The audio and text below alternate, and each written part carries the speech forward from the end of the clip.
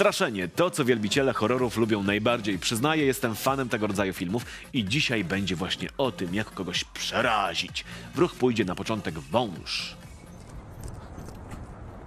Snake. There's a snake. There's a snake. There's a snake. There's a snake. Snake. Go. Snake. I'm Julius, and this is my pet snake. Sorry, snake.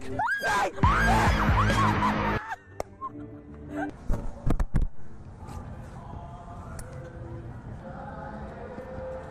Snake. Snake. Snake. Run. Snake. Snake. Oh my god, oh my god, oh my god. Guys, guys, guys, guys, guys, snake, snake, snake, snake. Run. Go, go, go, go. That was, that was amazing. Mate, snake, snake, snake, snake, snake, snake. Ah!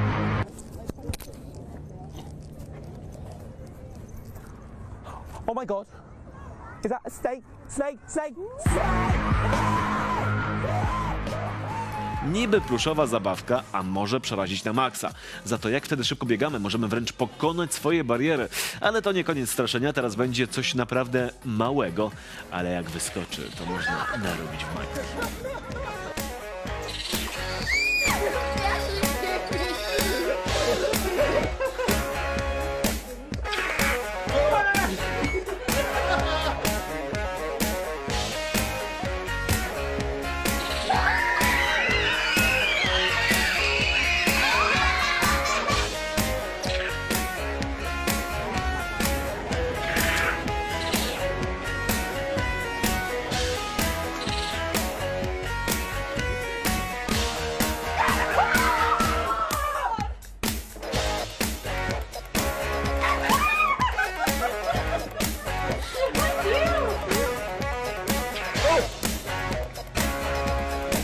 哈哈！